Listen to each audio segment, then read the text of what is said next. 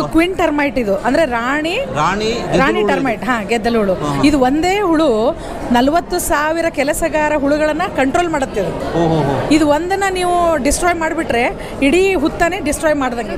ಅದು ಇದ್ರ ಜೇನುತುಪ್ಪ ತುಂಬಾ ವಿಶೇಷ ಅದು. ಮೆಡಿಸಿನಲ್ ಪ್ರಾಪರ್ಟಿ ಜಾಸ್ತಿ ಇರುತ್ತೆ ಮನೆಗಳಲ್ಲಿ ಕಟ್ಟೋದು ಇದು ಕೋಲ್ ಜೇನು. ಕೋಲು ಜೇನು ಹಾ ಕೋಲ್ ಜೇನು ಅಂದ್ರೆ ಪೊದೆಗಳಲ್ಲಿರುತ್ತೆ ಸಣ್ಣ ಕಡ್ಡಿ ಇದ್ರೆ ಸಾಕು ಇದು ಅಲ್ಲಿ ಕಟ್ಕೊಂಡ್ಬಿಡುತ್ತೆ. ನೋಡಿ ಕೀಟಗಳಿಂದ ಮಾಡಿದಂತ ಒಂದು ಫುಡ್ ಅನ್ನ ನೀವು ನೋಡ್ಬೋದು ಇಲ್ಲಿ ನೋಡ್ಬೋದು ನೀವು. ಇದನ್ನ ಆ, ತಿನ್ನೋದ್ರಿಂದ ಸೆಕೆಂಡ್ ಅಲ್ಲಿ ಇದೆ ಸರ್. ಹೌದು ಸ್ಟೇಜ್ ಸೆಕೆಂಡ್ ಸ್ಟೇಜ್ ಅಲ್ಲಿ ಇದು ಸೆಕೆಂಡ್ ಸ್ಟೇಜ್ ಅಲ್ಲಿ ಇದೆ ಫಸ್ಟ್ ಸ್ಟೇಜ್ ಅಲ್ಲಿ ಇರೋದು ಇನ್ನು ಇರುವೆ ತರ ಕಾಣಿಸುತ್ತೆ. ಆಂಟ್ ಅಂತ ಕರಿತೀವಿ ಸರ್. ಸೆಕೆಂಡ್ ಸ್ಟೇಜಿಗೆ ಬಂದಾಗ ಇದನ್ನ ಹಿಪ್ಪಲಹಳ್ಳಿ ಎಲೆ ಮೇಲೆ ಹಾಕ್ತೀರಿ. ಇನ್ಸೆಕ್ಟ್ ಅದ್ರ ಲೈಫ್ ಸೈಕಲ್ ಕಂಪ್ಲೀಟ್ ಮಾಡಬೇಕು ಅಂದ್ರೆ ತ್ರೀ ಟು ಫೋರ್ ಸ್ಟೇಜಸ್ ಇರುತ್ತೆ ಸರ್. ಬಟರ್ಫ್ಲೈಸ್ ಅಲ್ಲಿ ಫೋರ್ ಸ್ಟೇಜಸ್ ಫೋರ್ ಸ್ಟೇಜಸ್ ಇದೆ. ಸೊ ರೈತರ ಜ್ಞಾನಾಭಿವೃದ್ಧಿ ಕೇಂದ್ರ ಫಾರ್ಮರ್ಸ್ ನಾಲೆಜ್ ಸೆಂಟರ್ ಈ ವಿಭಾಗದಲ್ಲಿ ಆ, ಕೃಷಿ ಮೇಳದ ಫಲಪುಷ್ಪ ಪ್ರದರ್ಶನ ಹಾಗೂ ವಿಸ್ಮಯಕಾರಿ ಈ ಕೀಟಗಳನ್ನ ಕೀಟಗಳ ಪ್ರಪಂಚವನ್ನ ಪ್ರದರ್ಶನಕ್ಕೆ ಇಟ್ಟಿದ್ದಾರೆ. ಸೊ ಬಹಳಷ್ಟು ಜನ ಇಲ್ಲಿ ಒಳಗಡೆ ಹೋಗ್ತಾ ಇರೋದನ್ನ ನೋಡ್ಬೋದು. ಇದರ ಮುಂಭಾಗಿಲಿಗೆ ಬಹಳ ಚಂದಾಗಿ ಅಲಂಕಾರ ಮಾಡಿದ್ದಾರೆ. ಸೊ ಹಾಗೆ ನಾವೀಗ ವಿಸ್ಮಯಕಾರಿ ಕೀಟಗಳ ಪ್ರಪಂಚಕ್ಕೆ ಹೋಗ್ತಾ ಇದ್ದಾವೆ. ಮನುಷ್ಯರು ಭೂಮಿ ಮೇಲೆ ಇಲ್ದಿದ್ರೆ ಭೂಮಿ ಬಹಳ ಸುಂದರವಾಗಿರ್ತದೆ. ಅದೇ ಕೀಟಗಳಿಲ್ಲ ಅಂದ್ರೆ ಭೂಮಿ ಬೇಗನೆ ಸಾಯ್ತದೆ. ಸೊ ಹಾಗಾಗಿ ಭೂಮಿ ತನ್ನ ಜೀವಂತಿಕೆಯನ್ನ ಕಾಪಾಡ್ಕೊಂಡು ಹೋಗ್ಲಿಕ್ಕೆ ಕೀಟಗಳ ಅಗತ್ಯ ತುಂಬಾ ಇದೆ. ಸೊ ನಾವಿಲ್ಲಿ ಕೀಟದಿಂದ ಮಾಡಿದಂಥ ಒಂದು ಅಕ್ವೇರಿಯಂ ಅನ್ನು ನೋಡ್ತಾ ಇದ್ದಾವೆ. ನೋಡಿ, ಹಲವಾರು ಕೀಟಗಳನ್ನು ಇಲ್ಲಿ ಇಟ್ಟಿದ್ದಾರೆ. ಸಾಮಾನ್ಯವಾಗಿ ಅಕ್ವೇರಿಯಂ ಫಿಶ್ಗಾಗಿ ಫಿಶ್ಗಾಗಿ ಮಾಡಿರ್ತಾರೆ. ಅಂದರೆ ಫಿಶ್ ಅನ್ನ ಬಿಟ್ಕೊಂಡು ಅಕ್ವೇರಿಯಂ ಅನ್ನ ಮಾಡಿರ್ತಾರೆ. ಆದರೆ ಇಲ್ಲಿ ಕೀಟಗಳನ್ನು, ಕೀಟಗಳ ಒಂದು ಅಕ್ವೇರಿಯಂ ಅನ್ನ ಮಾಡಿದ್ದಾರೆ. ಬೇರೆ ಬೇರೆ ಜಾತಿಯ ಕೀಟಗಳು ಇರೋದನ್ನ ಇಲ್ಲಿ ನೋಡ್ಬೋದು ನೀವು. ತೇಲಾಡ್ತಾ ಇದ್ದಾವೆ, ಹಾರಾಡ್ತಾ ಇದ್ದಾವೆ ಕುಣಿದಾಡ್ತಾ ಇದ್ದಾವೆ. ಎಲ್ಲರಿಗೂ ನಮಸ್ಕಾರ. ನಾನು ಡಾಕ್ಟರ್ ರೋಹಿಣಿ ಸುಗಂಧಿ ಅಂತ. ಸಹಾಯಕ ಪ್ರಾಧ್ಯಾಪಕರು, ಕೀಟಶಾಸ್ತ್ರ ವಿಭಾಗ, ಕೃಷಿ ವಿಶ್ವವಿದ್ಯಾಲಯ ಧಾರವಾಡ. ಇದು ಒಂಥರ ಹೊಸ ಕಾನ್ಸೆಪ್ಟ್ ನಮ್ಮ ಎಂ ಎಸ್ ಸಿ ಅಗ್ರಿ ಮತ್ತು ಪಿ ಎಚ್ ಡಿ ಸ್ಟೂಡೆಂಟ್ಸ್ ಎಲ್ಲ ಸೇರಿಬಿಟ್ಟು ಈ ಸರಿ ಹೊಸದಾಗಿ ನೀವು ಫಿಶ್ ಅಕ್ವೇರಿಯಮ್ಮನ್ನು ನೋಡಿರ್ತೀರ? ಸಾಮಾನ್ಯವಾಗಿ ಇದು ಇನ್ಸೆಕ್ಟ್ ಅಕ್ವೇರಿಯಮ್ ಅಂತ ಹೇಳಿ. ಇದರಲ್ಲಿ ಐದು ವಿವಿಧ ಥರದ ಕೀಟಗಳನ್ನು ಇದರಲ್ಲಿ ಬಿಟ್ಟಿದ್ದಾರೆ ಅವರು. ಇವೆಲ್ಲ ನಾರ್ಮಲಿ ನೀವು ಸ್ಟ್ಯಾಗ್ನೇಟೆಡ್ ವಾಟರ್ ಅಂದರೆ ನಿಂತಂಥ ನೀರಿನಲ್ಲಿ ನೀವು ಇದನ್ನು ನೋಡ್ತೀರಾ? ಇದರಲ್ಲಿ ಯಾವ್ಯಾವ ಇದಾವೆ ಅಂತಂದ್ರೆ ನಾನು ನಿಮಗೆ ಹಾಗೆ ಕಾಮನ್ ಆಗಿ ಕನ್ನಡದಲ್ಲಿ ಹೇಳ್ತಾ ಹೋಗ್ತೇನೆ. ನೀರ್ಚಳಗಳು ಉಲ್ಟಾ ಹಾ ಅದು ಪಾಂಡ್ ಸ್ಕೇಟರ್ ಅಂತ ಹೇಳಿ. ಅದ್ರ ಹೆಸರು ಪಾಂಡ್ ಸ್ಕೇಟರ್ ಆಮೇಲೆ ಸಣ್ಣದು ಒಂದು ಹುಳ ಇದೆ. ಅದು ನಡೆಯೋದು ಮುಂದ್ಗಡೆ ನಡೀತಾ ಇರ್ತದೆ. ಈಜುವಾಗ ಹಿಂದ್ಗಡೆ ಮಾಡಿ ಈಜುತ್ತದೆ. ಅದು ಉಲ್ಟಾ ಈಜುವ ನೀರು ತಿಗಣೆ. ಆಮೇಲೆ ಹಳದಿ ಚುಕ್ಕೆ ಉಳ್ಳಂತ ಮುಳ್ಳು ದುಂಬಿ ಇನ್ನೊಂದಿದೆ ಮುಳ್ಳು ದುಂಬಿ. ಆಮೇಲೆ ಅಪ್ಸರೆ ಮರಿಗಳು. ಟೋಟಲಿ ಐದು ವಿವಿಧ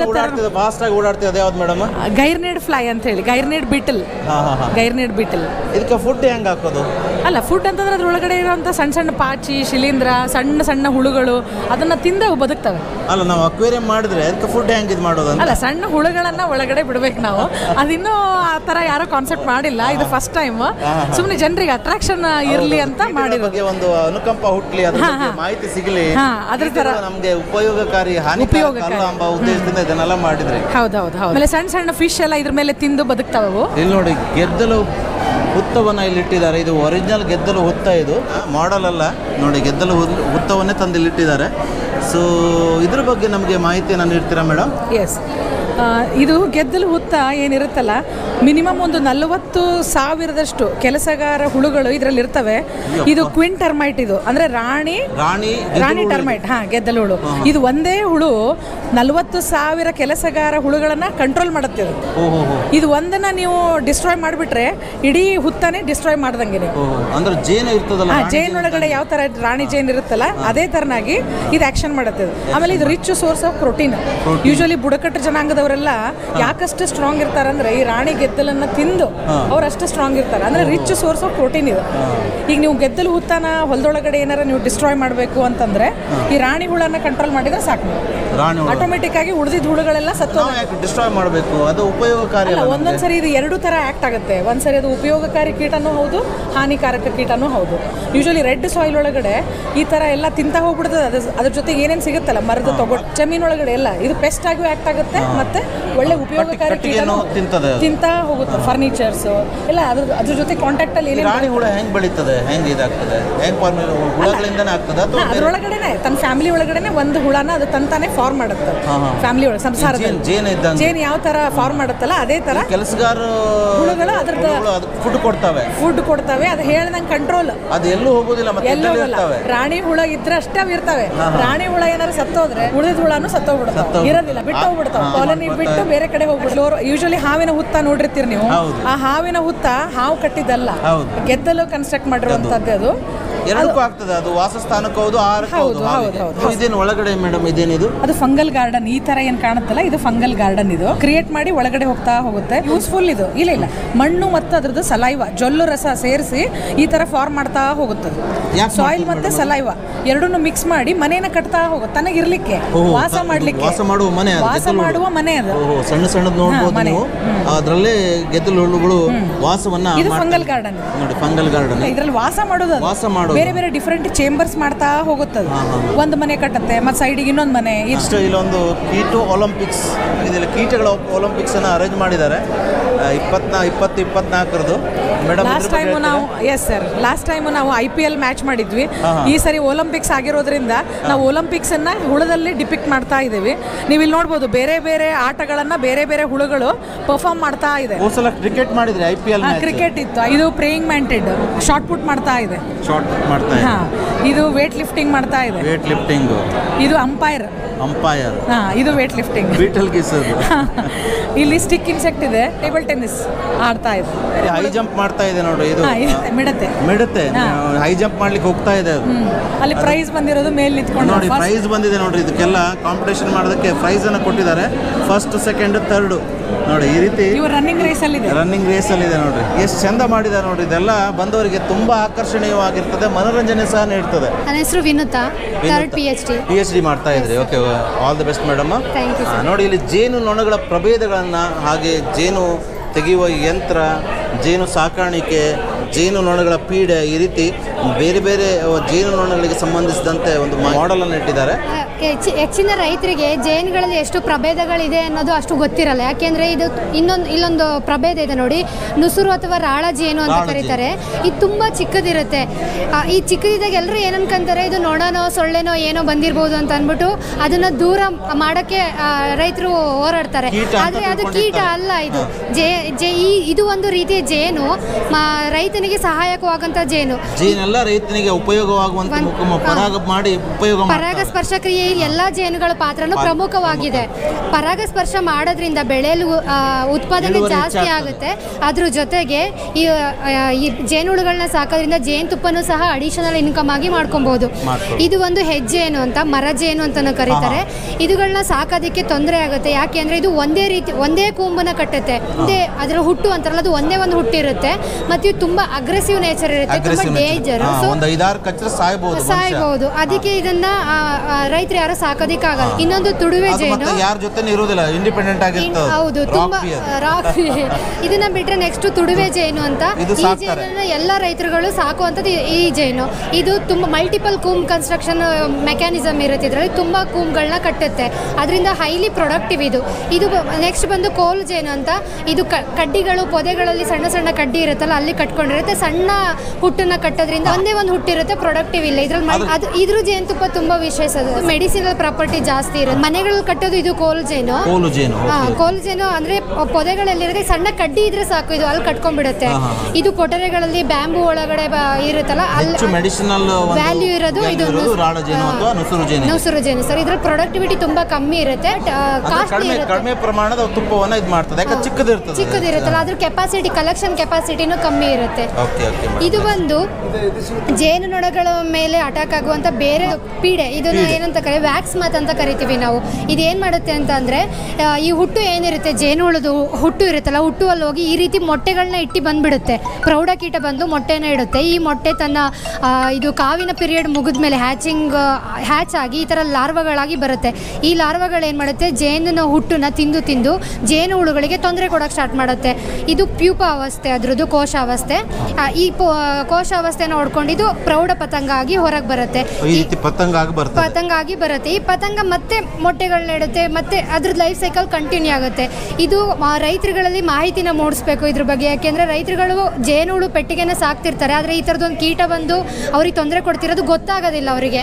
ಡೈಲಿ ಅಬ್ಸರ್ವೇಷನ್ ಇದನ್ನ ರಿಮೂವ್ ಮಾಡಬೇಕು ಸರ್ ಡೈಲಿ ಅದ್ರ ಇದ್ರನ್ನ ಕೂಂಬ್ಗಳನ್ನ ತೆಗೆದು ಅದ್ರಲ್ಲಿ ಮೊಟ್ಟೆ ಇದೆಯಾ ಮರಿ ಲಾರ್ವಾ ಇದೆಯಾ ಪ್ಯೂಪ ಇದೆಯಾ ಇದು ಸ್ಟ್ರಕ್ಚರ್ ಜೇನುಳಕ್ಕೂ ಇದನ್ನು ನೋಡಿದ ತಕ್ಷಣ ಡಿಫ್ರೆನ್ಸ್ ಗೊತ್ತಾಗ್ಬಿಡುತ್ತೆ ಸರ್. ಹೌದು. ಈ ತರದ್ ಇದ್ದಾಗ ಅದನ್ನ ತೆಗ್ದಾಕ್ಬಿಡ್ಬೇಕು ಮ್ಯಾನ್ಯುವಲಿ ತೆಗ್ದಾಕ್ಬೇಕು. ಅಂದ್ರೆ ನಾವು ಸಾಕು ಜೇನನ್ನ ಸಾಕ್ಬೇಕಾದ್ರೆ ಪೆಟ್ಟಿಗೆನ ಸಾಕ್ಬೇಕಾದ್ರೆ ಚೆಕ್ ಮಾಡ್ತಾರೆ ಪೆಟ್ಟಿಗೆನ ಅದು ಚೆಕ್ ಮಾಡ್ತಾ ಇರ್ಬೇಕು. ಡೈಲಿ ಅಬ್ಸರ್ವೇಷನ್ ಮಾಡ್ಬೇಕು ಸರ್. ಡೈಲಿ ಅಬ್ಸರ್ವೇಷನ್ ಮತ್ತೆ ಅದಕ್ಕೆ ಪೀಡನಾಶಕ ಕೀಟನಾಶಕ ಅದೇನು ಕೀಟನಾಶಕ ಹಾಕಿದ್ರೆ ಇದಕ್ಕೂ ತೊಂದರೆ ಆಗುತ್ತೆ ಸರ್. ಕೀಟ ಎರಡು. ಕೀಟ ಜಾತಿಗೆ ಸೇರಿರೋದ್ರಿಂದ ಹಾ, ಹಾ, ಹಾ. ಇದಕ್ಕೆ ತೊಂದರೆ ಆಗುತ್ತೆ. ಅದು ಇದು ಹಾಕ್ಲೂಬಾರ್ದು, ಬರ್ದೇ ಇರೋದನ್ನ ಬಳಸ್ಲೂಬಾರ್ದು, ಮತ್ತೆ ಜೇನುತುಪ್ಪಕ್ಕೂ ಸರ್. ಕಂಟಾಮಿನೇಷನ್ ಆಗುತ್ತೆ. Okay okay madam next actually ಇದು ಸೋಷಿಯಲ್ ಇನ್ಸೆಕ್ಟ್ ಸರ್ ಹನಿಬಿ ಅನ್ನೋದು. ಏನ್ ಕಾನ್ಸೆಪ್ಟ್ ಅಂದ್ರೆ ಜೇನಿನಿಂದ ಜೇನು. ಜೇನು ಅನ್ನೋದು ಒಂದಿರೋಕ್ಕೆ ಸಾಧ್ಯನೇ ಇಲ್ಲ ಅದು ಗೂಡುಗಳಲ್ಲಿ ಇದ್ದಾಗ ಅದು. ಜೇನು ಆಗೋದು ಅದರದ್ದು ಮನವರಿಕೆ ಒಂದು ಅಂತ ತಂಡ ಅಥವಾ ಒಂದು ಕುಟುಂಬ ಅದು? ಜೇನಿನಿಂದ ಜೇನು ಅಂತ ಆ ಕಾನ್ಸೆಪ್ಟ್ನ ಎಕ್ಸ್ಪ್ಲೈನ್ ಮಾಡಕ್ಕೆ ಇದನ್ನ ಇಟ್ಟಿದ್ದೀವಿ ಸರ್. ಇದು ಜೇನು ತೆಗೆಯುವ ಯಂತ್ರ ಇದು ಏನು ಬಳಸಬೇಕು ಅಂತ ಅಂದ್ರೆ ಇವಾಗ ರೈತರುಗಳು ಜೇನು ತುಪ್ಪ ತುಂಬಿದೆ ಅಂತ ಗೊತ್ತಾದ್ಮೇಲೆ ಇದನ್ನ ತೆಗೆಯಕ್ಕೆ ಏನು ಮಾಡ್ತಾರೆ? ಇದನ್ನ ಕಟ್ ಮಾಡಿಬಿಟ್ಟು ಇದರಲ್ಲಿರೋ ಹುಟ್ಟನ್ನ ಕಿತ್ಬಿಡ್ತಾರೆ ಸರ್. ಅದೇ ನೆಕ್ಸ್ಟ್ ಮತ್ತೆ ಇದಕ್ಕೆ ಹುಟ್ಟನ್ನ ಕಟ್ಟಬೇಕು ಅದು ಜೇನು ಅಂತ ಅಂದ್ರೆ ಒಂದು ಕೆ ಜಿ ನಾವು ಹುಟ್ಟು ಇರುತ್ತಲ್ಲ ವ್ಯಾಕ್ಸ್ ಅಂತ ಏನು ಕರಿತೀವಿ? ಅದನ್ನ ಕನ್ಸ್ಟ್ರಕ್ಟ್ ಮಾಡಬೇಕಂದ್ರೆ ಅದು ಸುಮಾರು ಎಂಟರಿಂದ ಹತ್ತು ಕೆ ಜಿ ಜೇನುತುಪ್ಪನ ಅದೇ ಕುಡಿದು ಅದರಿಂದ ಹುಟ್ಟನ್ನ ತಯಾರು ಮಾಡಬೇಕು. ಅಷ್ಟು ಹತ್ತು ಕೆ ಜಿ ಲಾಸ್ ಆಗುತ್ತೆ. ಅದ್ರ ಬದಲು ಏನು ಮಾಡಬೇಕಂದ್ರೆ ಪ್ರತಿ ಸಲ ನಾವು ಜೇನುತುಪ್ಪನ ಹೊರಗೆ ತೆಗಿಬೇಕಾದ್ರೆ ಈ ಕ್ಯಾಪಿಂಗ್ ಏನಾಗಿರುತ್ತೆ ಕ್ಯಾಪಿಂಗ್ನ ಚಾಕುವಿಂದ ಕಟ್ ಮಾಡಿ ತೆಗೆದು ಹೊರಗಡೆ ಜಸ್ಟ್ ಈ ಥರ ಜೇನು ತೆಗೆಯುವ ಯಂತ್ರದಲ್ಲಿ ಈ ಥರ ಇನ್ಸರ್ಟ್ ಮಾಡಬೇಕು. ನಾಲ್ಕನ್ನು ಒಟ್ಟಿಗೆ ಇಡ್ಬೋದು ಇದರಲ್ಲಿ. ಆಮೇಲೆ ತಿರುಗಿಸ್ಬೇಕು ಅದನ್ನ ಜಸ್ಟ್ ರೊಟೇಟ್ ಮಾಡಿದ್ರೆ ಸೆಂಟ್ರಿಪೀಟಲ್ ಫೋರ್ಸ್ ಇಂದ ಇದು ಏನ್ ಮಾಡ್ತಿದ್ರು? ಒಳಗಡೆ ಇರೋ ತುಪ್ಪ ಬಂದು ತುಪ್ಪ ಎಲ್ಲ ಕೆಳಗಡೆ ಬರ್ತದೆ. ಕಂಠಗಳಿಗೆ ಹೋಗಿ ಚಿಮ್ಮುತ್ತೆ ಸರ್. ಚಿಮ್ಮುತ್ತೆ. ಎಲ್ಲ ಕೆಳಗಡೆ ಕಲೆಕ್ಟ್ ಆಗಿರುತ್ತೆ. ಇಲ್ಲಿ ಒಂದು ಟ್ಯಾಪ್ ಸಿಸ್ಟಮ್ನ ನಾವು ಹಾಕೊಂಡು ಇಲ್ಲಿಂದ ಜೇನುತುಪ್ಪನ ಹೊರಗಡೆ ಕಲೆಕ್ಟ್ ಮಾಡ್ಕೊಬಹುದು. ಅವಾಗ ಇದು ಇದರಲ್ಲಿ ಇರುವಂತ ಹುಟ್ಟಿಗೂ ಹುಟ್ಟು, ಏನು ತೊಂದರೆ ಆಗೋದಿಲ್ಲ.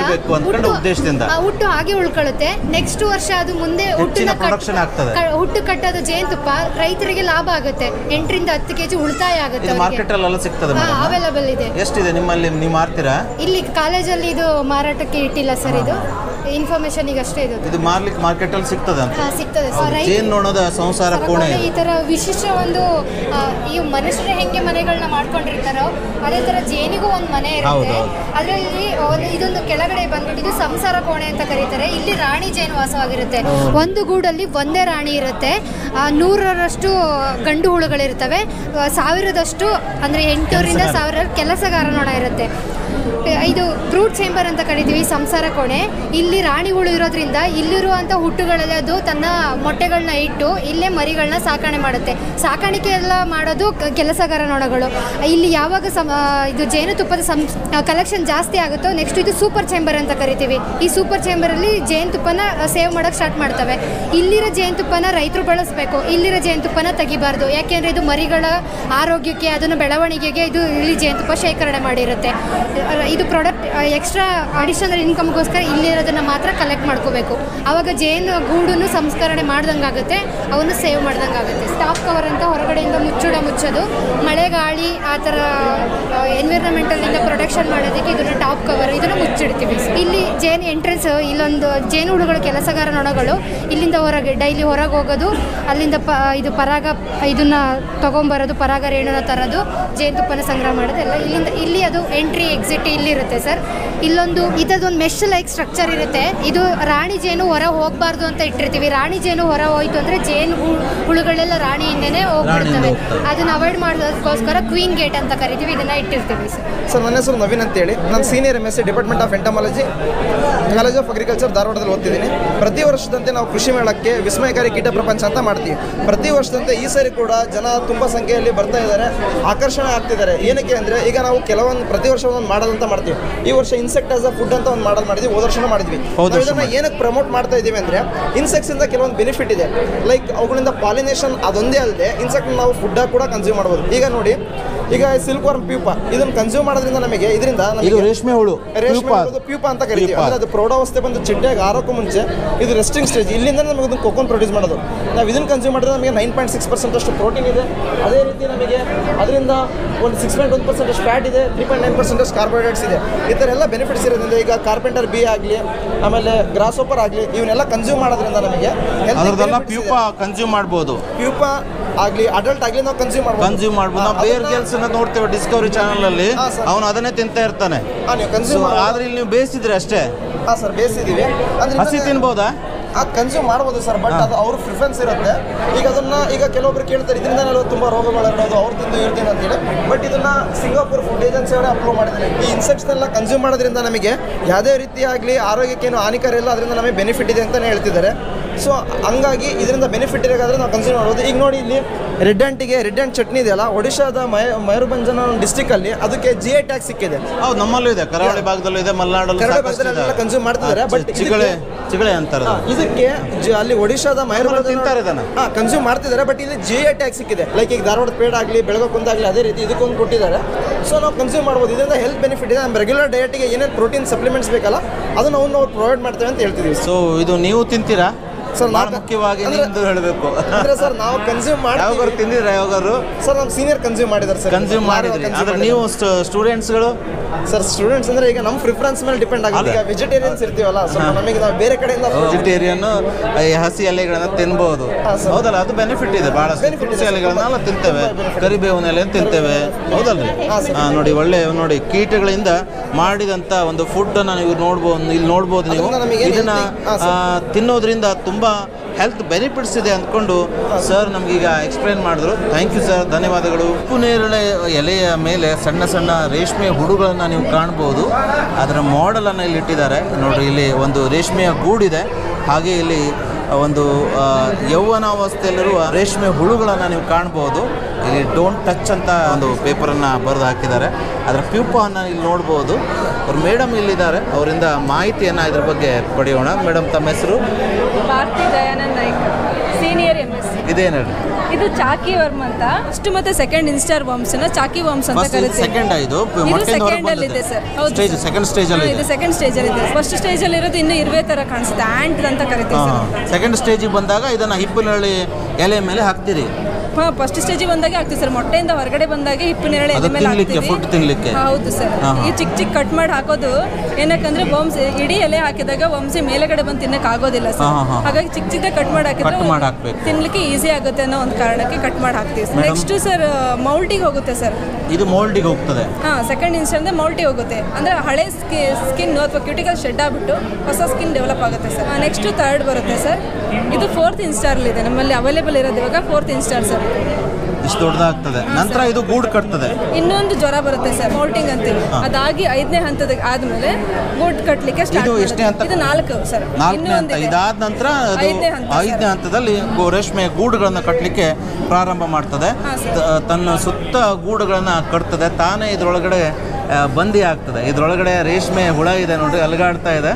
ಸೊ ಇದರಿಂದ ರೇಷ್ಮೆ ನೂಲನ್ನು ಯಾವ ರೀತಿ ತೆಗಿತಾರೆ ಅಂದರೆ ಇದಕ್ಕೆ ಹಬೆಯನ್ನು ಸ್ಟೀಮನ್ನು ನೋಡ್ತಾ ನೀಡ್ತಾರೆ.